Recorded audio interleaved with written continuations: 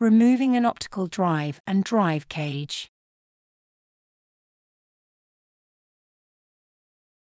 Remove the server cover. Disconnect the cables from the optical drive.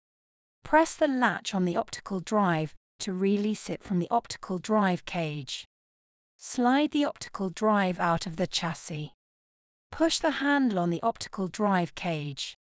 Lift the optical drive cage out of the chassis. If applicable, disconnect all the cables from the 3.5-inch drive assembly. Pull out the retainer to disengage it from the optical drive.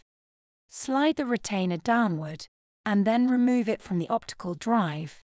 Pull the optical drive bezel away to remove it from the optical drive.